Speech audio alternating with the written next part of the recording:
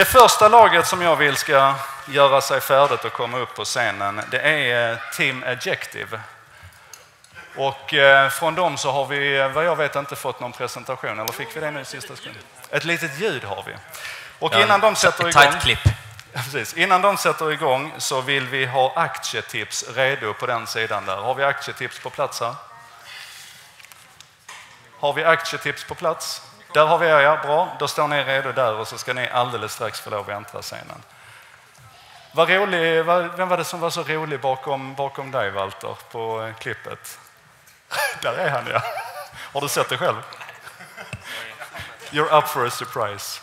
Okej, Team Adjective, scenen är er. Välkomna. Ta micken där och kör. Tack. Um, vi har fått instruktioner om att bygga den här appen. Instruktionerna är från högre ort, ja. Precis. Så vi är bara här och bygger. Ehm, vi har våra eh, instruktioner här. Då ska vi bara sätta på ett ljud. Har snart en minut gått.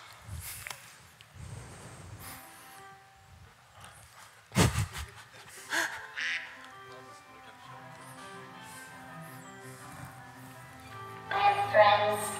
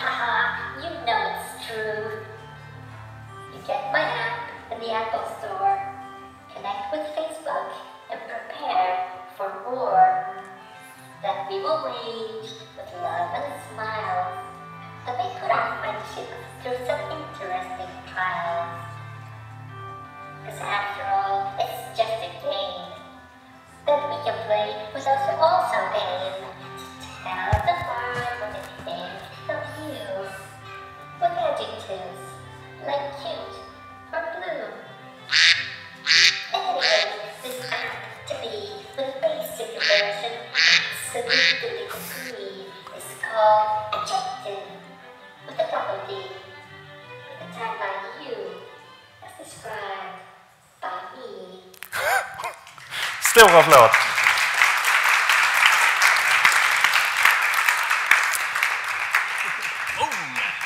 Thank you, thank you. Thank you.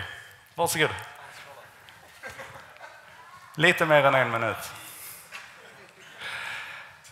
Okej, nästa gäng upp på scenen är aktietips och efter dem vill vi ha beeper redo. Har vi beeper i salongen? Japp, jättebra. Varsågoda. Hej, eh, Eh, jag heter Magnus Lander. Det här är Jon Gottlin. Eh, vi tillsammans har skapat Stocks.se. Vår idé är att ge marknadstips till marknadspris. Och vi har knutit till oss flera topprankade aktieanalytiker. Eh, de följer marknaderna när de är öppna och ibland till och med när de är stängda. Så att du slipper. De bevakar marknaderna och när det är köp eller säljläge så skickar de ut ett sms till dig. Och precis som på aktiemarknaden så är det den som betalar högst som får smsen först. Eh, Att använda Stocks är enkelt. Klicka in dig på lägg bud och ge instruktioner till budagenten. Eh, Och när man har lagt sitt bud så sköter budagenten alltihop åt en. Och kanske så blir det så att det blir budkrig. Eller så kanske man kommer undan lite billigt. Och om man sen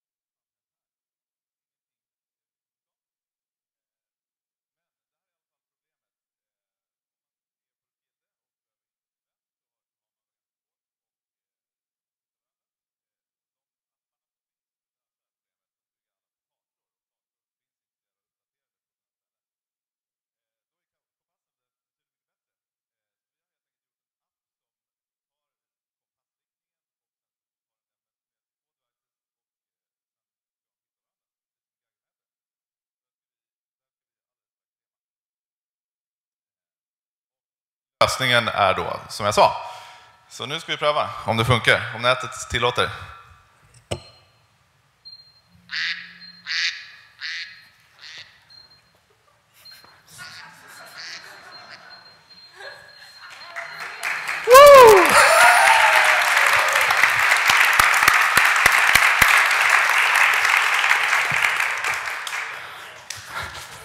Underbart. Snygg live-demo.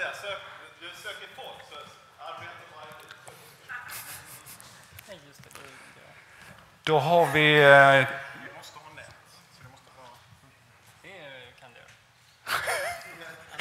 Social dekal och efter det så har vi eh, Emergence Net. Finns de i lokalen? Bra, då är ni nästa. Varsågod. Pop Develop. Tack! Vi har utvecklat tjänsten Social eh, Dekal och vi kommer från den hippa staden Malmö. Där har vi sett, nu finns det inga bilder här, men det, vi har sett ett behov av att eh, ha sådana här stickers på butiksfönster. Och vi vill hjälpa företag att göra detta ännu enklare för kunder att komma in från en fysisk plats in på Facebook. Så därför har vi kombinerat NFC, QR-koder och gjort en print-on-demand-service eh, med eh, dekaler. Och då kan vi då eh, tillhandahålla sådana här dekaler ganska lätt. Det går till så att butiksägaren kan sätta upp dekalen, kunderna scannar dem och kommer in på landningssidan, likar och får tillbaka någon sorts rabatt. Och kundägaren får tillbaka också statistik på hur varje dekal används. Så här ser vår tjänst ut. Man kan designa sina egna stickers. Man kan få ut statistik på hur dekalerna används. Och vår businessmodell är att vi ger ut fem gratis dekaler till eh, butiksägare för ungefär 1000 kronor styck, eller för hela den banden. Och man betalar ett abonnemang för 199 kronor i månaden för att ha det up and running, få ut statistik och så vidare. Men detta är när vi hookat upp betalning, så nu är den uppe och nu är det gratis fram tills vi får upp våra betalningar. Tack!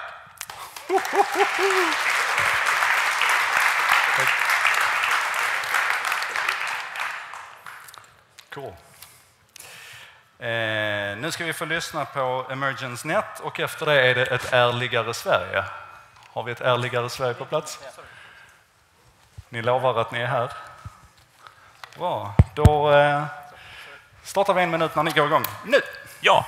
Eh, vår pitch eh, grundar sig i att vi tycker att alla ska ha tillgång till ett bra internet helt enkelt. Eh, och det ska även vara lätt att kunna skapa det här internetet. Så vår grej är att man går in här på vår sida, väljer vilket paket man ska ha, skriver in vilken adress man vill ha till sitt internet. Eh, sen skapas det helt enkelt. Det är inte mer än så. Eh, här har vi fått lite innehåll där man kan skapa nyheter, sidor, kalenderhändelser. Eh, man kan ja, då ha som en liten wiki där, sidorna, och även ha en kalender som vad som händer för just mig. Och det här som är viktiga, det här är min information, alltså vad, vad är det som jag är intresserad av. Så om jag till exempel skapa då en ny nyhet, så går jag in i den gruppen som jag vill skapa den här nyheten i. Eh, och då går jag och trycker på skapa nyhet här, fyller i lite information. Eh, och sen skapar jag den helt enkelt. Eh, som ni ser, man, det är socialt, man kan kommentera, man kan diskutera. Eh, och den här kommer självklart då sen upp i min feed. Eh, ja, när den eh, är postad då helt enkelt. Och de som också är surfare i det här fallet. Ja, vi får tacka för oss.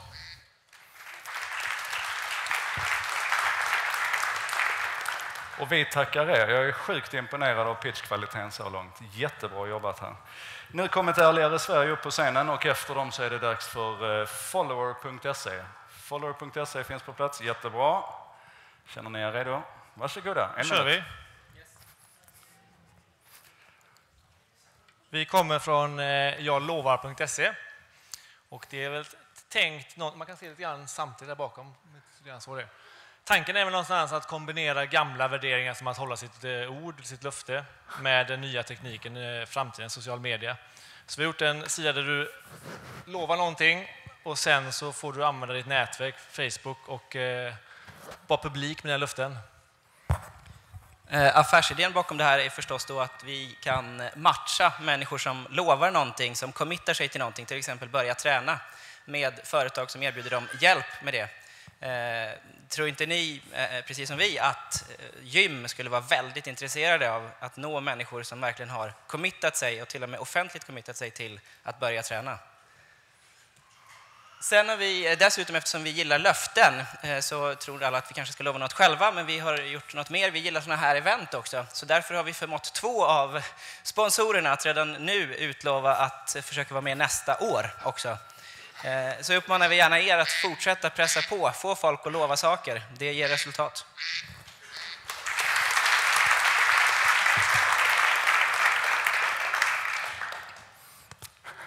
Jag kan säga så, Janne Elvelid från .se, han drog ner huvudet mellan axlarna. Så. Jag tror inte det var riktigt så ni hade spikat det, men jag, jag gillar initiativet. Tryck på, det är bättre att be om ursäkt efteråt än fråga om lov före. Eh, follower.se står på scenen redo och nästa är Funny Animals. Funny Animals är strukna. Kan du vara tyst Peter? Då har vi Funny Animals nästa på scenen. Varsågod followers. Hej, David Svensson från Standout i Växjö. Det här är Kevin och Andreas. Tillsammans har vi byggt Follower. Och grundtanken är då att förstå våra användare. För att bli bättre på det vi gör på webben måste vi förstå dem.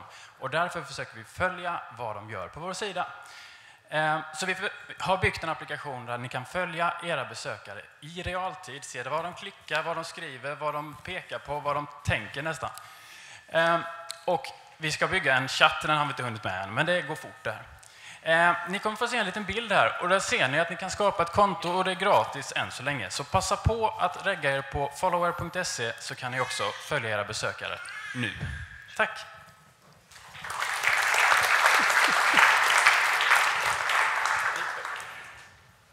Ni eh, var 20 sekunder snabbare än vad ni behövde vara. Då kan vi ge den tiden till eh, Scribe. Var var ni någonstans? Där nere. Då får du dem. Okej? Kompisar? Ja, det är bra. Vi har lite rundgångsproblem. Ehm, då är det alltså Funny Animals, vilket jag verkligen ser fram emot. Ni ser ganska normala ut tycker jag. Ehm, och därefter så är det Giwagawa. Är Giwagawa här? Där är ni. Bra. Nästa på. Varsågod, en minut. Hi, my name is Ole. And my name is Vlad. I have little daughter. Sometimes we sit together and read a book. I point to the picture and say, for example, it's a cow. It says moo. Or uh, I would ask her, who says wow? And she would point to the dog. But what if I'm busy? For example, driving. What should I do? I was desperate. I went to my friend Vlad and said, Vlad, can you help me? Yes, of course, and I answered, we can use modern technologies. We can create a game which making sounds and we showing funny uh, pictures. And I think you slept too little last night because we have created such game. It's called Funny uh, uh, Move for Kids.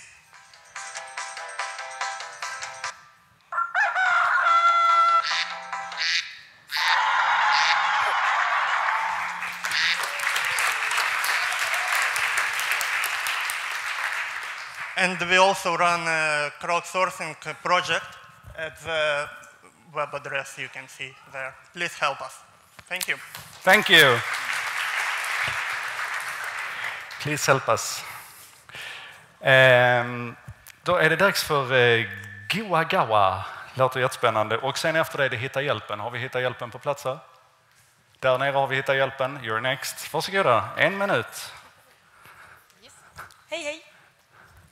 Vi är Giwagawa, Ulrika Skreil, at Ullemon och Jessica Björkäng at Sessan. Och vi har gjort Giwagawa, den ultimata presentväljaren online som kommer vara din bästa vän och alltid ger de bästa presentförslagen.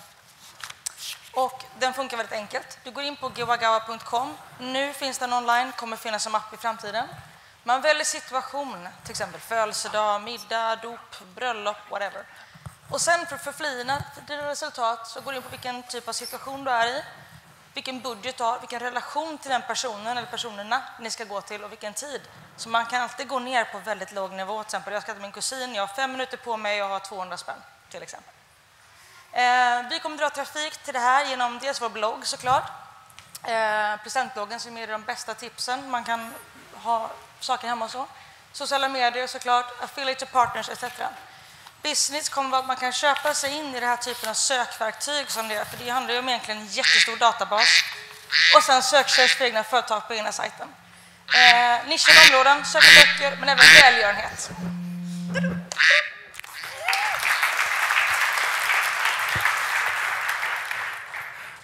Alltså en minut är jävligt kort tid, eller hur? Ja, det är bra. Ehm, ni får jättegärna tänka på att hålla micken lite närmare munnen. Så. Jättebra. Eh, då är det dags för att hitta hjälpen och efter det så vill vi se HiveGrid. HiveGrid är redo. Jättebra, jättebra, jättebra. Varsågoda. Tack så mycket. Hej, vi har, hittat, eh, vi har utvecklat, inte hittat, Hitta hjälpen. Eh, och det är alltså en tjänst där det ska vara superenkelt att hitta hjälp med små uppdrag. Barnpassning, kränga däck, trädgårdsskötsel, allt sånt där som man inte riktigt har tid med, men man kanske inte tar in någon professionell för 1000 kronor timmen, eh, som jag är ganska övertygad om att flera av er kostar. Eh, så låt oss demonstrera lite snabbt. Och så, där. Eh, och så kan du klicka på valfri. Eh, alltså det här är ungdomar, studenter, vuxna som har lite tid över vad som helst. Och så kan man läsa om vad är det för olika taggat och vad de kan göra och så vidare. Ehm, sådär. Eh, vi tror alltså att det här är en fantastisk möjlighet för studenter, eh, ungdomar som kanske inte har jobbat innan, att komma ut på arbetsmarknaden, få referenser med sig, eh, lära sig uppskatta hårt arbete och tjäna lite egna pengar. Eh, så nu skulle ni kunna hjälpa till genom att hjälpa oss att eh, nå ut till ungdomar, barn, deras vänner, andra som är väldigt duktiga på någonting, till exempel kränga däck eller någonting annat.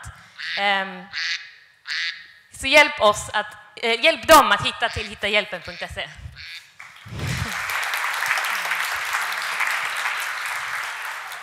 Fin slutkläm där, tack. Jag märkte Tyra, fem månader, här blev lite upprörd när ungdomarna skulle ut och arbeta och sådär. Då hon drog igång pipan. Eh, då har vi Hivegrid här och eh, nästa är Invite to Eat. Har vi Invite to Eat här? Varsågoda, ni är redo där borta. Och en minut, kör! Hallå allihopa, George André heter jag. Eh, det är trevligt att se framtida presumtiva kunder. Det här eh, tjänsten är för er, utvecklare. Så vad det är, det är en eh, komplett eh, plattform as a service-tjänst för webb API. Och där, med komplett så menar jag att eh, där kan man designa API-funktionerna själva. kan bestämma backend-arkitektur, liksom vad man vill köra för load balancers, databaser och så vidare kan bestämma deployment på vilka leverantörer man vill ha det på. Jag menar EC2 eller Rackspace eller varför inte Glacius som är här idag. Man kan ju uh, enabla authorization, authentication, rate limit, monitoring, Eh, i princip allt. Och viktigast av allt, man kan ju programmera integrationen med själva applikationen, det vill säga vad API ska göra. Det vi löser är ju skalbarheten. Jag menar, tjänsten eh, skalar upp och ner eh, vid behov throughputen optimiserad för högsta antal möjliga operationer per sekund. Tillgängligheten, om ena leverantören går ner så kan, finns det en failover till en annan leverantör. Och följ oss på Hybrid. Tack.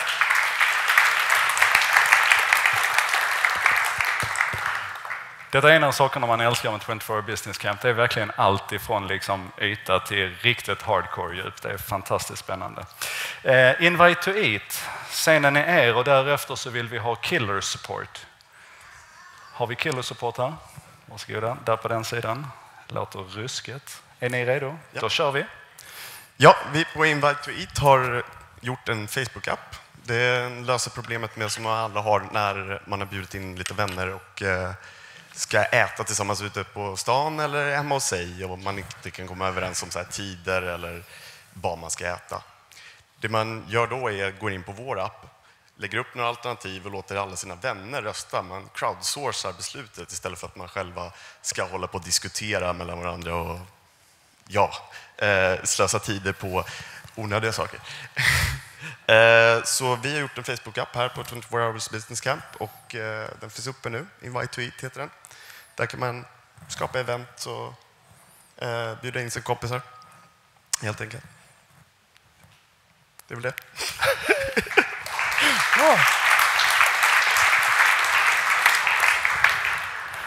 Åtta, till, åtta sekunder till godo där. Eh, killer support, next up. Och, eh, oj, och därefter så har vi Kullipa. Sa jag det rätt? Kullipa? Kulipa. Okej, okay, Kullipa, next. Varsågoda, scenen är Hi everybody, my name is Pejman and uh, Johannes, my, my teammate in the killer support. Uh, so the idea, next slide. So the idea is to build the whole customer support with SMS and voice uh, technology built into it in just 24 hours, uh, based on the 46Elks platform, which is the uh, API for uh, such a thing. And what you do is you just uh, the in the morning the help support desk person comes and logs into the dashboard And then when a customer calls, what happens is it understands what is the number if it's already in the database and it pops up the information automatically for the help desk support person. And then also there at the top, you can see that there is also possibility of the sending the SMS. So if the customer wants to send the SMS to the customer support to understand what is his, uh, what is the problem or what is the status of the report for him, it will pop up on the dashboard of the customer help desk person. Well, uh, I just want to say that uh, the whole coding was based on the Johannes uh, work, so he's a great genius guy. So great applause for him. Thank you.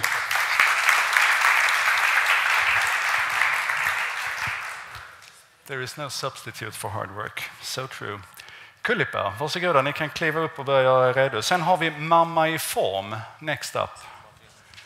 Och vi har inte fått någon presentation eller någonting från er va? Nej, ni kör eh, fritt? Okej, okay, a cappella. Men då tar vi Kulipa först, varsågoda. Ja, hej. Eh, vi kommer från Kulipa, från eh, Linköping. Och det vi har gjort nu under 24 Business Camp är att tagit fram ett eh, kontaktlöst NFC-betalningssystem till vårt fik eh, på universitetet.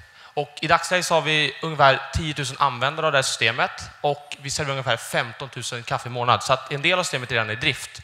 Det vi har gjort nu, det är för att minska köerna, är att vi har tagit och gjort så att man kan förbeställa varor, att man kan betala direkt i mobilen istället för att bara använda det här äh, studentläget som vi har. I det här studentläget finns det ett RFID-chip som vi tidigare använt. Och eh, det är också att kunderna kan ta betala med hjälp av mobiltelefoner eller sin e-wallet som finns kopplat till systemet. Och vår tanke är då senare att vi ska kunna skala det här. Nu finns vi på Linköpings universitet. Inom ett år ska vi skala till alla Sveriges universitet. Och tre år, World Domination. Yay! Ja, jättebra. Alltså, att sluta med World Domination, det är ju rätt tid att gå av scenen så att säga. Skitbra. Och då är det Mamma i form. Tyra on stage.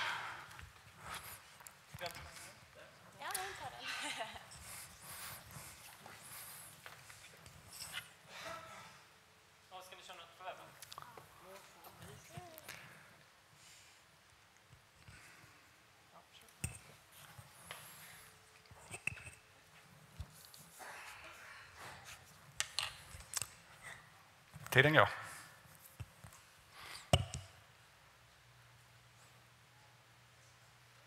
Ni får nog börja. Ja, eh, Mamma i form är en träningssajt för mammor med eh, övningar och träningsprogram som man kan träna hemma med sin bebis. Och eh, här är sajten.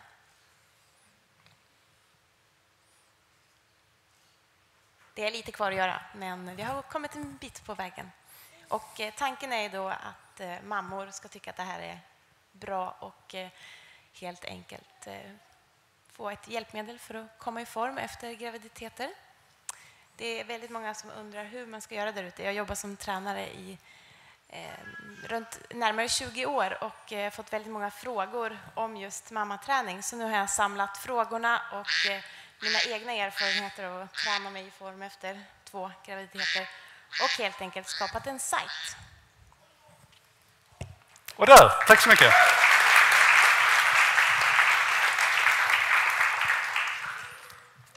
Och med det är vi halvvägs. Are you amazed?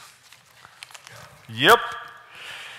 Bra det. Eh, då ska vi se, då har vi, det glömde jag säga, förlåt. Pool workout stretch, då är det ni igen ja. Förlåt, jag blev förvirrad. Ja, det är för mycket nu. Ni kunde stannat på scenen. Då får ni en minut till. Varsågod, pool workout stretch. Och nästa är riksdagstransparens. Ja, det här är vår tredje app, Powercout Stretch. Tidigare har vi gjort Powercout Trim and Tone och Powercout Boll och band. Den första är ett träningsprogram med eh, egen kroppsvikt och den andra är ett träningsprogram med boll och band. Powercout betyder Powerful Workouts och eh, som det låter så är det ett korta, grymt effektiva och roliga träningsprogram som ger snabba resultat den här appen är internationell som de andra två och Susanne ska berätta mer om hur den fungerar. Ja. Eh, totalt så finns eh, 60 stycken eh, stretchprogram och det finns eh, till exempel kontorsstretch. Det finns eh, stretchprogram i samband med styrketräning, dans, eh, innebandy och också för specifika muskler som till exempel nacke och rygg. Appen guidar dig genom stretchprogrammet eh, som en PT i din iPhone. Eh, och efter stretchprogrammet så får man eh, poäng som man kan dela på Facebook och Twitter. Och den släpps snart i App Store och kommer även till Android, liksom de andra apparna. Tack så jättemycket. Då är det riksdagstransparens som nu är omdöpt till riksdagsrösten, va? Ja, det. Det var folket som fick välja och därefter så är det schackstegen. Har vi schackstegen på plats? Som väl har blivit eh, squashstegen, typ. Ja, här händer det saker. Välkomna. Hejsan, jag heter Gustav Josefsson, det här är Joakim Gren och Johan Sandén. Vi har byggt eh, under några dagar, eller under en dag här, riksdagstransparens. Vi låter var och en se vad som pågår i riksdagen. Vad varje enskild riksdagsledamot röstar i varje enskild omröstning och du kan bryta ner detta i statistik. Du kan sedan själv gå in och rösta på dessa eh, i varje votering och bli uppparad med den riksdagsledamot mot som passar dig. Eh, våran, på vår sajt så kan du få en översikt av vad som pågår. Du kan gå in och se eh, riksdagsledamöterna och du kan sedan bli uppmatchad. Men inte bara det, du kan också tycka till i kommande uppröstningar, omröstningar. Information som sedan skickas, pushas till riksdagsledamöterna inför varje votering. Så att de vet vad just deras väljare tycker. Ah.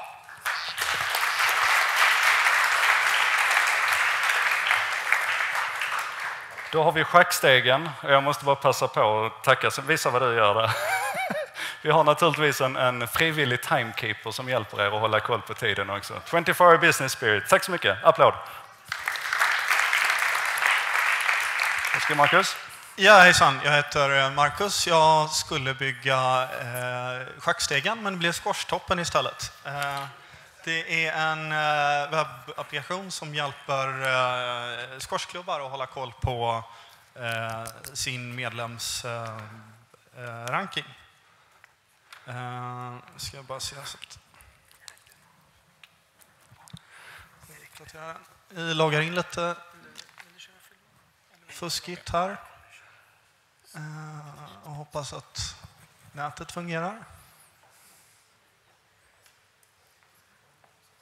Uh, ja, man kan i alla fall, man lägger till, medlemmarna kan själva lägga till matcher eh, och så sen så rankas de baserat på en, en algoritm som normalt används för att ta fram schackranking.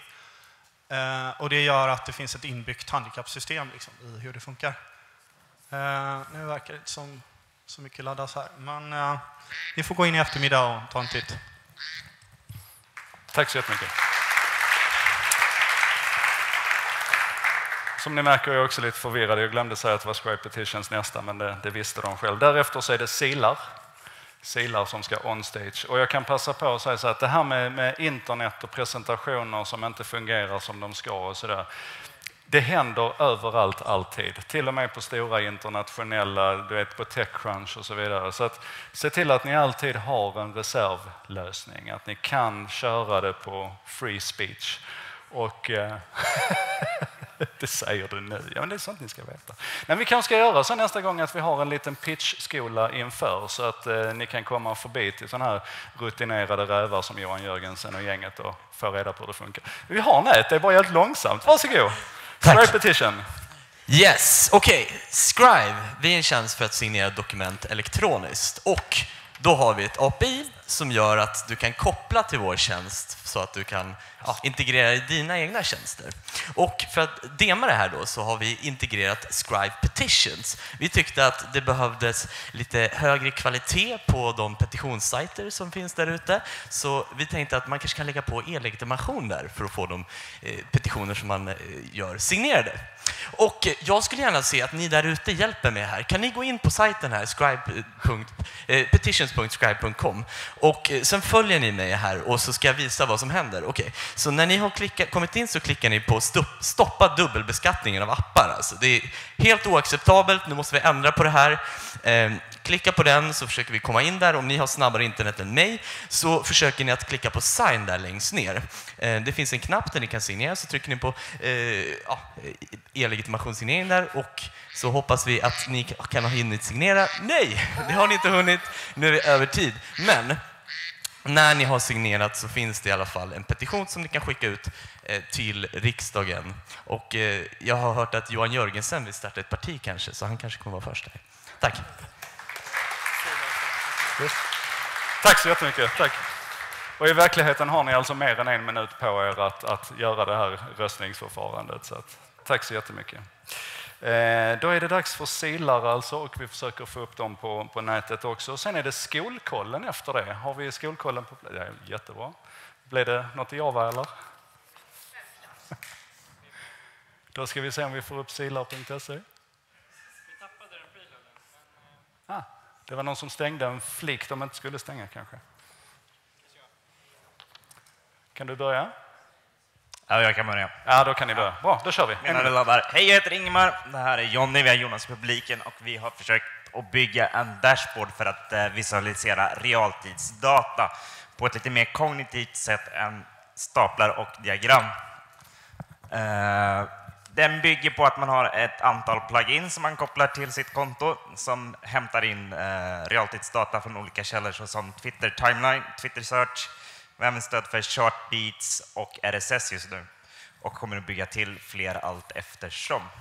Eh, vi håller även på att bygga ett kösystem eftersom det här kräver ganska mycket datakraft. Eh, så att eh, vi kommer bara tillåta ett visst antal användare att använda systemet samtidigt. Såvida man inte betalar, då får man gå före i kön och använda den fritt. Vi ska snart se hur ett antal bollar laddas, förhoppningsvis. Internet är lite segt.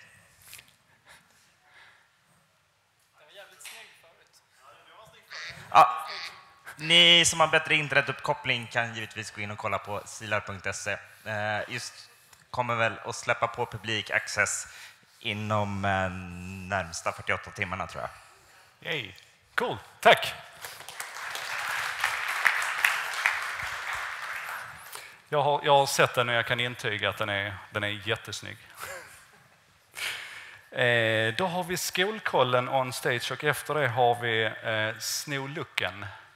Har vi Snolucken här på plats? Jättebra. Då är vi redo för er snart och varsågoda, en minut. Hej och välkommen till eh, skolkollen.nu och välkommen till skolan. Jag heter Helena och tillsammans med mina kollegor på Fjällenskolan, Ida och Per Fredrik, så har vi fått hjälp här och ta hand om våra barn som kommer till skolan. Och eh, de går på Fjällenskolan i eh, klass 1A. Här har vi några deltagare i vår skola. Ska vi se om de kan komma fram ordentligt också. Hmm. Mm, eh, de är nog på ingång tror jag. Eh, man kan se här, eh, vi provade den alldeles nyss, då gick det utmärkt. Men man kan se här, och ni kan prova själva också, att några är gråa, de har inte kommit än till skolan. Några är orangea, de är lediga.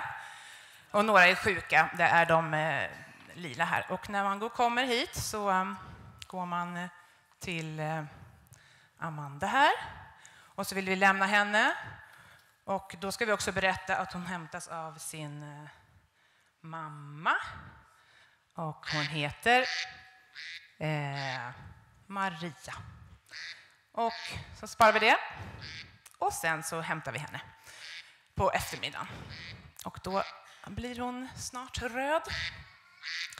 Så that's it. Och det funkar bra på iPad och iPhone. Tack! Tack så mycket. Det var verkligen långsamt här. Man kommer kunna följa alla de här teamen sen på 24hbc.se också så att ni kan gå in där och klicka på dem i efterhand när ni har ett internet som fungerar. Jag ser Björn Lilja sitter och är alldeles svettig här nu. Vi måste ha internet. Ja, så är det. Nu är det snolucken.se och sen är det SSVC-kollen Reborn. Där är ni ja. Bra, jättebra. Varsågoda. Lycka till. Ja, vi har gjort eh, Snorlooken som är en social shop, ett socialt shoppingverktyg. Eh, Snorlooken är ett verktyg som låter bloggare koppla ihop foton med produkter och bloggbesökare att köpa de produkter som finns i de hopkopplade sidorna. Eh, här uppe kan vi se hur en bloggare har laddat upp en bild uppe till vänster och kopplat tre stycken produkter till den bilden. En, eh, ett par jeans, en scarf och en blå blus. Och om vi hade haft internet så hade vi dessutom vågat visa hur lätt det är att, eh, att hitta även den där eh, fina väskan där. Men nu chansar vi inte. Sen trycker man publicera och då kommer man till eh, en blogg. Då man kollar på bloggen sen ser hur användaren ser ut. Eh, här har vi vår blogg med vårt sprillans nya Snorlooken-plugin incheckat. Där finns det en Snorlooken-knapp. Klickar man på den får man upp produkterna som är kopplade till den. Och här kan givetvis bloggbesökaren shoppa allting direkt.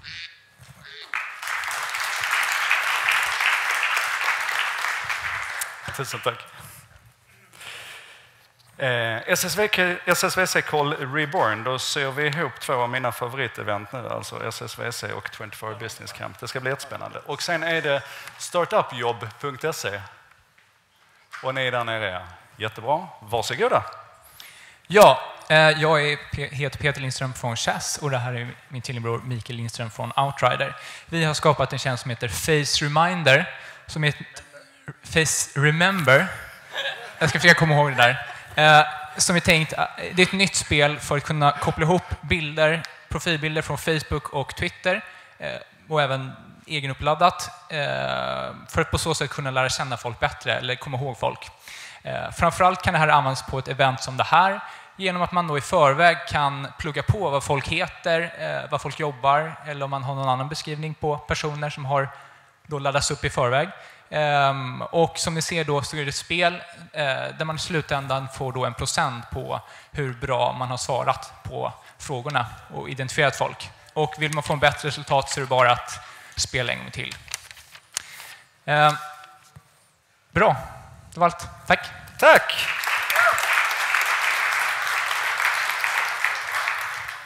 Mycket roligare än Wordfeud. Och dessutom har jag en chans här. Jag har gått runt på 100 procent ett par gånger. Det är jag lite stolt över. Startupjobb.se, välkomna upp och börja göra er färdiga. Och sen är det Svensexa 2.0. Jag hoppas ni inte tänker ta det hela vägen fullt ut. Nej. Och ni är redo? Då kör vi. Varsågoda. 200 000 kronor, det är vad en rekrytering kan kosta idag. Och vilken startup har råd med det? Det där personliga nätverket är naturligtvis ett alternativ, men eh, det är ju inte oändligt och chansen att man träffar rätt person för just din startup är ju rätt liten. Eh, Startupjobb.se är en matchmaker mellan startups och människor som vill jobba där. Och intresset är enormt. Sen igår så har vi signat upp 30 företag och dragit in över 30 000 kronor. Eh, prismodellen är gratis registrering för såväl företag och personer. Eh, och det är inte förrän företagen vill börja söka i databasen och kontakta intressanta personer som man börjar betala. Vi kommer satsa stort på upsale och tilläggstjänster Vi har redan ett eh, samarbete med rekryteringsföretaget Skill. Smarta människor som ni ska jobba i smarta företag, så gå in redan idag på startupjobb.se och registrera er. Tack för oss!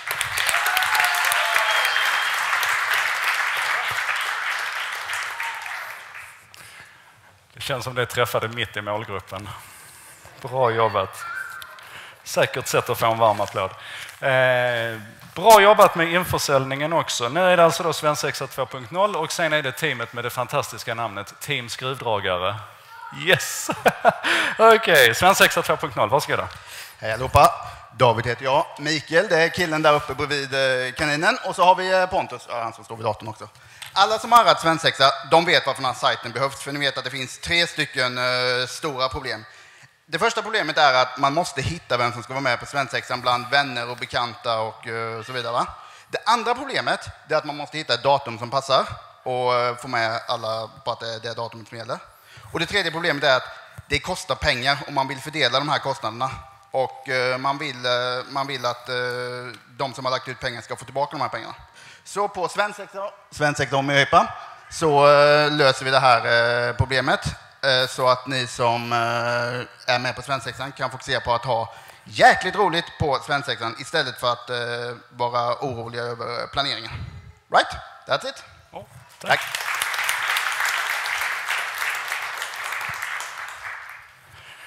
Då ska vi se vad den där skruvdragaren handlar om. Mm. Och sen efter det så är det tidsskillnad.nu. Där har vi tidsskillnad.nu. Okej, skruvdragaren, kör hårt. Yes, eh, ni har varit i situationen man vill sätta ett hål i väggen, eh, kanske för att, eh, ja, så, eh, för att eh, sätta upp en sån där, vem vet. Eh, men ni behöver en, en borrmaskin helt enkelt. Eh, nu finns Lengen.com, vilket gör att ni kan välja mellan det gamla sättet bu, och ett nytt sätt.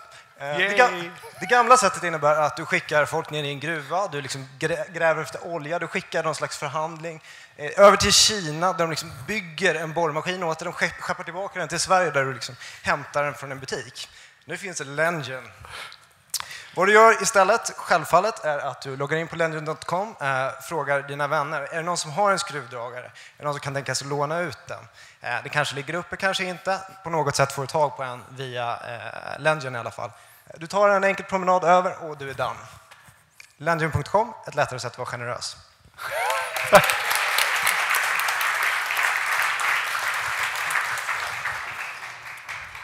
Mycket bra. Snyggt. Eh, då är det dags för tidsskillnad.nu och medan han gör sig färdig så är det Top Stories nästa. Top Stories har vi där. Varsågoda, gör er redo, ladda, peppa och nu tidsskillnad.nu. Ja, Jakob Nared heter jag, kommer från företaget Dreambuilders. Eh, Alla har vi kanske någon gång funderat på vad är klockan i New York, vad är klockan i Moskva eller i Thailand? Kanske har någon som jobbar på andra sidan jordklotet och vet vad är klockan där? Eller att man är ute på resa och tänker, vad är klockan i Sverige? Så då har vi lanserat en sajt som heter tidsskillnad.nu där man enkelt kan gå in och kika. Eh, man väljer två platser, till exempel Sverige och Bolivia. Eh, och då kan vi se att klockan är 7.45 i Bolivia. Eh, vi skulle även kunna välja Ja, man får välja från långa listan helt enkelt. Jag ska inte ta för mycket tid, men, men eh, man får även upp sommartid och lite grejer. Eh, och den här funktionaliteten tänkte vi även implementera på vår sajt resebokningen.se som man kan gå in och söka på billiga flygbiljetter. Och eh, om det är någon mer som är intresserad av algoritmerna för det här så kan vi mycket väl tänka oss att släppa ett API för det. Så då är det bara att hojta till. Tack så mycket. Och där fick vi ett skolboksexempel på hur man kan smygpitcha en annan tjänst också. Det är helt okej. Eh, top Stories on stage och nästa och fjärde från slutet, det börjar närma sig, är turneringsappen. Turneringsappen redo? Där är ni ja. Okej, tar jag plats och varsågod, en minut. Hej, hej. Vi har problem för att det finns för mycket nyheter i världen och det händer alldeles för mycket roliga saker som man vill kolla hela tiden. Ehm, det finns olika sätt att lösa det. RSS har varit ett försök. Det har failat ganska epically. Eh, jag har typ så här 100 000 olästa artiklar i min RSS-reader. Ehm, så det tänkte vi försöka lösa. Och eh, det har vi gjort. på olika sätt. Men ehm, det sättet vi tänkte på är att det finns vissa flöden som är mer problematiska än andra. TechCrunchy är den jävligaste jag har. Det är typ 30-40 artiklar per dag. Ehm, så på något sätt ville vi reducera det. Och ehm, det har andra gjort tidigare. Typ Wire när de gjorde sina top stories. Så vi tog deras namn och så gjorde vi en tjänst av det. Så ehm, vi kondenserar RSS-flöden till det som är väsentligt. Och eh, här är en fronten på en backend som egentligen eh, kan bli kallad efter URL. Så man har eh, URLen där, sen så skriver man feed och är lika med feedet. Så kan man sätta parametrar. Det är det. Tack. Tack.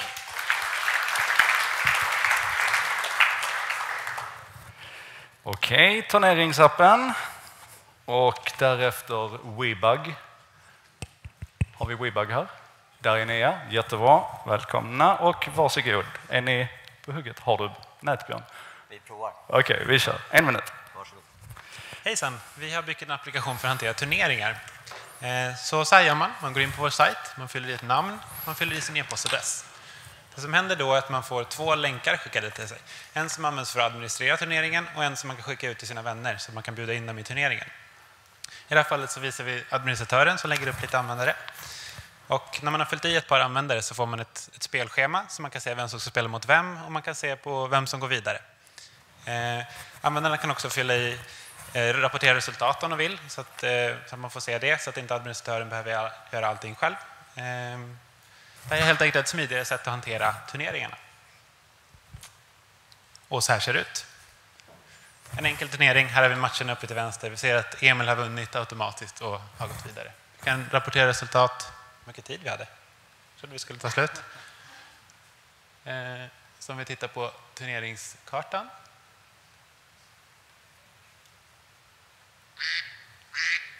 Så ser vi att det var Nästan klart. att David vann Ja. turneringen.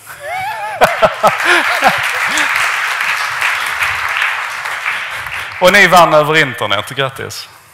Det var lite grann som vi var inne på innan, det hade varit kul att se det här ihopjackat med eh, Sportscore, eller vad hette den till slut, den här som hette Schackstegen från början. Prata med varandra. Ni har ett API, men ja, det har Marcus snart också, lovar han. Fyra timmar till så. Okej, eh, Webug on stage och nästa är Wine and Wear. Där har vi det. Bra, varsågoda. En minut. Peter Antonius heter jag, Kristoffer Leiborg och tillsammans har vi byggt WeBug. Och WeBug är en tjänst för utvecklare för att underlätta för Eh, få in all data som kunden aldrig ger när de skickar in en felrapportering. Eh, och, oj, nu ligger det jättelångt före. Eh, det fungerar som så att med en liten enkel knapp som man implementerar antingen via sitt favorit CMS eller bara en liten JavaScript-snippet så eh, eh, kommer det en liten knapp som du kunden trycker fram, fyller i en liten description, ett screenshot tas automatiskt där kunden kan även lägga till, eh, ringa in det och lite sådär. Och sen skicka iväg det. Eh, utvecklaren får ett mail med all information och även den här metainformationen som kunderna aldrig bifogar som skärmupplösning, eh, webbläsare och så vidare. Cool, tack! Och on the spot med, med tiden också. Eh, jättebra. Jag tror ni har många kunder här inne, för jag tycker man har sett lite buggar när jag har varit runt och tittat på byggena här. Men jag, jag vet inte, det kan vara jag som har fel. Eh, Wine and Wear och sedan writers.se. Hejsan, Mikael Triv heter jag. För mig är minnen kopplade till platser. Detaljerna de suddas ut med tiden, men platserna de kommer jag oftast ihåg. Det här tänkte jag eh, ta tillvara på, så därför vill jag koppla detaljerna till en plats. För att slippa komma ihåg. Jag har valt att illustrera det genom en tjänst som jag kallar för Wine and Wear. Tillsammans med en liten Android-app just nu så taggar man ett vin man dricker. Då taggas det tillsammans med positionen och en beskrivning om vinet och händelsen. När man sen vill ha reda på det där vinet, vad det nu hette, som man aldrig kommer ihåg, då bara zoomar man in på kartan, kollar, får upp en bild, kanske lite information och då har man vad man, vill, vad man söker. Wineaware, en tjänst för att hitta detaljer genom en plats. Toppen. Tack! Tack, tack, tack, tack. Gör du en för öl sen också? Tack. Sista pitchen. Hur känns det? Det känns bra. Ja. Kul. Mm. Det betyder inte det att du får ta eh, sju minuter bara för det, utan du har en minut precis som alla andra. Varsågod. Tack. Eh, Anders Granström heter jag och jag gjorde Writers.se som är en arbetsförmedling för skribenter. Det är helt gratis för alla att gå med. Och eh, just nu så har jag fått ihop sex stycken skribenter som har lagt upp sina profiler. Så att, eh, jag tycker ni ska gå in där och så ska ni ge dem lite uppdrag. Tack för mig.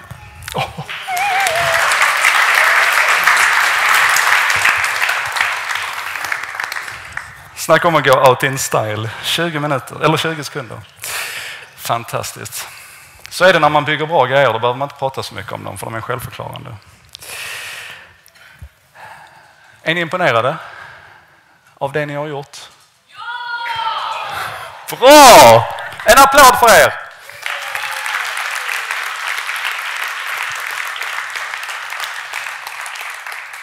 Är ni sugna på att göra om det? Ska vi köra 24 timmar till nu på studs direkt? Ja.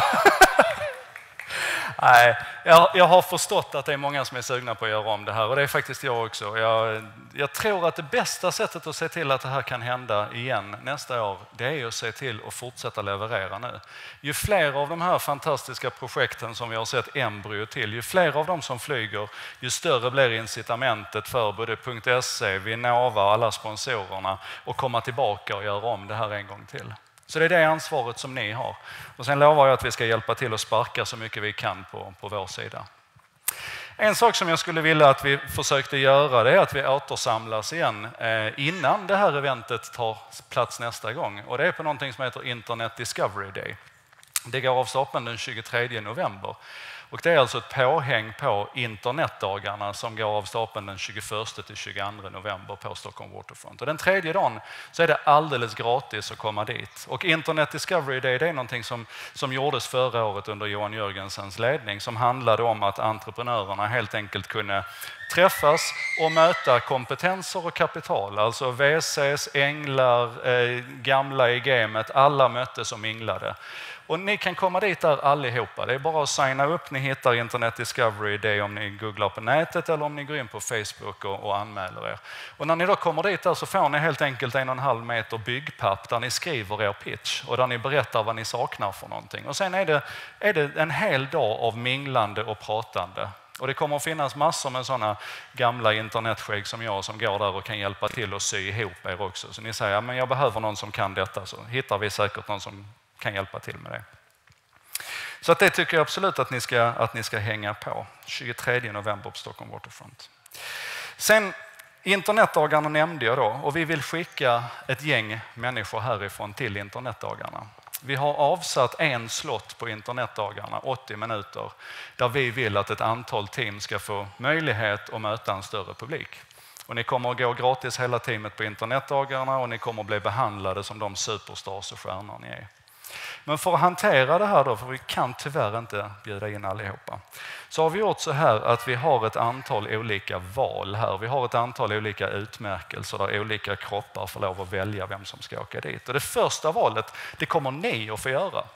Vi kallar det för teamens val. Och among er så kommer ni alltså då att få ett antal poäng att fördela på de andra teamen. Och det kommer information om detta, det kommer att centreras runt 24hbc.se där varje team kan gå in och lägga sina röster på de teamen som man i sin tur tycker är mest värt att få åka på internetdagarna. Så det är, det är teamens val. Sen har vi ett annat val som vi kallar för folkets val. Och det valet det kommer att vara centrerat runt Funded by Me. Så har ni inte redan lagt upp er på Funded by Me så tycker jag absolut att ni ska göra det. Och där är det ganska enkel matematik. Det teamet som har fått flest bidragsgivare, inte den största säcken pengar, utan flest bidragsgivare, det är det teamet som vi skickar till den här pitchen på internetdagarna. Och jag kan säga också, där kommer ni få mer än en minut på er att pitcha, så att det, det blir lite mer så. Så det är folkets val. Och sen har vi någonting som vi kallar för JPs val har vi JP i lokalen. Där nere sitter han. Ni får vända er om och titta på JP. Så ser han ut. Nu ska jag berätta vem han är. JP är en sån här fantastisk människa som sätter spaden i marken och gör saker och ting när det inte blir riktigt som han har tänkt sig. Han och hans gäng sökte till 24 Business Camp men de kom tyvärr inte med hit. Jag är jätteledsen för det idag för det hade varit kul att ha JP här. Men vad JP gjorde istället det var att han och ett gäng de, de bestämde sig för att nej men vad fan, då gör vi det själv istället. Så fredag, lördag, söndag så körde de någonting som hette X-Dev Innovation Camp ute i Kista. Och JPs arbetsgivare ställde upp och öppnade lokalerna och 12 lag tror jag de var som kickade igång där eh, 25 pers som satt och hackade och de hackade i 48 timmar istället. Det, tycker vi är så fantastiskt, så det är klart att JP ska få lov att välja ett team härifrån och skicka till internetdagarna. Och det är väl inte helt otippat att det kanske kommer ett, ett team ifrån XDev Innovation Camp som får vara med också på, eh, på internetdagarna. Så vi mixar och blandar lite grann. Sådär. Så det var tre. Det var tre team. Och sen har vi då det fjärde teamet. Och det fjärde teamet som vi tänkte skulle få lov att, att gå vidare, och detta är din cue här nu, Ted Valentin. Det fjärde teamet som vi tänkte skulle få gå vidare, de, eh, de väljs helt enkelt ut av, eh, av juryn. Och det är samma gäng som en gång i tiden satt och svarade för det första den första samlingen människor som fick lov att komma hit. Och jag vet att det var lite omdiskuterat och det var lite stökigt där och, och, det pratades lite grann om att det fanns, det var kanske det minst demokratiska sättet att lösa det på och så vidare. Men jag kände aldrig så. Jag tyckte det var helt okej. Okay. Och det gjorde jag egentligen av ett enda skäl och det är att jag vet att Ted Valentin var med i den gruppen och han är verkligen själen för det här eventet. Han är precis som alla vi här, eh, lika nördig, lika glad, kärleken till koden och så vidare. Så så länge Ted är med så är jag inte det minsta bekymrad för hur det här går till. Och det är jag inte nu heller när Ted ska komma upp på scenen här och leverera juryns val. Nej. Okej, okay, det är så här. Ted ägnar sig åt civil olydnad nu, för jag sa så här att om inte juryn är färdig inom tre minuter då ska Ted bara komma upp här, ta mikrofonen och då bestämmer han själv vem det är som är juryns val. Men Ted är så här lite busig så han gör aldrig som man säger till honom. Vill ni att jag ska ta logistiken först då? Då gör vi så här. Då, gör vi så här. då låter vi juryns val hänga lite grann i luften och så berättar jag vad som ska hända efter att vi är färdiga här. Och då är det så här att klockan, så snart vi är färdiga här nu klockan 13, så går vi ut där ute och så finns där mackor. Och då är det mackor, mingel, mys, alla de här kramarna så att vi står oss till nästa gång vi träffas igen. Klockan 14 så går bussarna och det kommer inte att ske någon avprickning denna gången utan de som inte är där klockan, ja nu passar det att komma. De som inte är där klockan 14 de får ta sig tillbaka in till stan på egen hand tyvärr. Och eh, i bussen så kommer Janne också springa runt och, och hetsa med de här enkäterna. Så de av er som inte redan har svarat på enkäterna kommer att få göra det då istället. Eh, men skulle vi inte plocka upp hela juryn? Okej, okay, då gör vi så då. Jag får representera juryn då. Ja, det här var enormt svårt att på, på tre minuter försöka hitta då juryns, eh, juryns val. Eh, det var supersvårt. Eh, och vi hade, det var jättemånga som, det var ett stort gäng här som vi valde mellan. Valde mellan. Men eh, juryns val då, då blir eh, faktiskt... Jag, jag har ingen, eh, ingen motivering heller. vi gillade den och vi tror att den har eh, liksom framtidspotential och vi gillar att det känns som att den har en, en internationell potential och eh, potential att tjäna pengar och eh, sådär. Och eh, vårt val är silar.se. Wow! Yeah. I hård konkurrens ska sägas med, med, med ett gäng andra, så det var supersvårt. Alltså. Du får skriva en bloggpost om det sen, dina, dina våndor. Ja. Men då har, vi, då har vi ett team klart redan nu. Då vet vi alltså att eh, Silar kommer att få lov att, att åka och pitcha på internetdagarna.se. De andra här med, med teamens val, folkets val och JPs val, de kommer att klarna efterhand för att de kommer att behöva lite tid. Vi försökte pressa JP till att bestämma sig direkt också, men han tyckte inte det var professionellt nog. Han kom ju bara hit i morse. Eh, men sen är det så här, alltså det, det gänget här nu som vann juryns val, vi har en liten surprise till dem också. Ska jag berätta om den surprisen eller kommer någon ifrån .se upp och gör det? Janne pekar på dig Pernilla. Som sagt, det här är 24 Business Camp. We make it up as we go. Kom Pernilla. En applåd för Pernilla som får representera .se.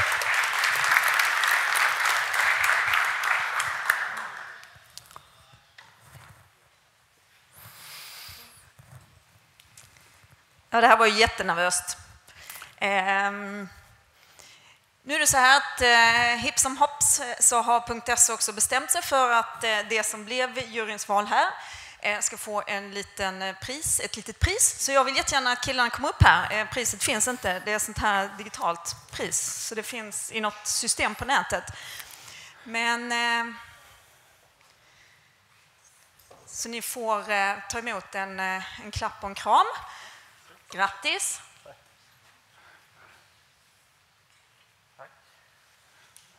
Det var det som var priset, alltså klappen och kramen. Ja, det, det där var det fysiska.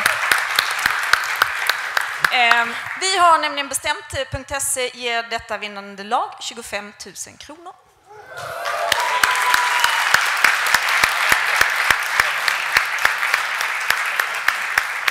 Ska de säga någonting? Vad sa du? Eh, Och till ert försvar kanske ni ska säga någonting. Vem vill säga någonting? Det är, jag känner i alla fall att den här applikationen är mycket ett experiment och försöka flytta webben lite framåt och inte bara fokusera på text och det vi sett tidigare och försöka utöka det och bli mer kognitivt och eh, förankra i det som händer nu med realtidsdata och sådana grejer. Cool. Stor applåd! Vi, vi kan också säga att det var väldigt roligt att vara här. Det är första gången vi är här för alla tre i teamet. Och det vi kommer ju garanterat tillbaka ifall det sker igen, vilket jag tror att det kommer göra. Tack! Okej, då är vi färdiga. Tack så mycket!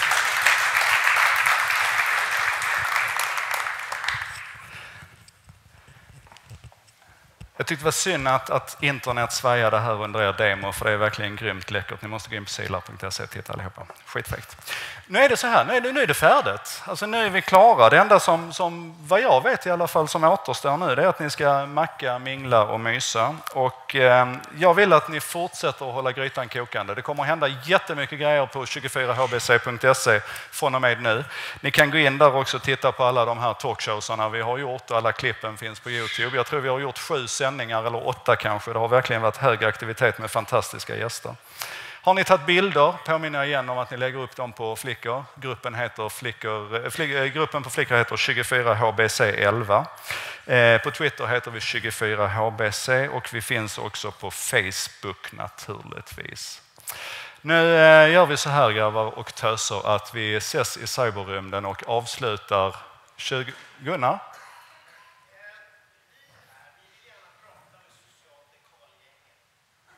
Okej, det var Gunnar Lindby Arneby som gärna vill prata med Social Dekal från Malmö. Ja, och Johan Jörgensen. Ja, det får ni lösa sen. Då eh, återstår bara att vi med en gemensam och fantastisk applåd tackar varandra för de här dygnen. Tack så jättemycket!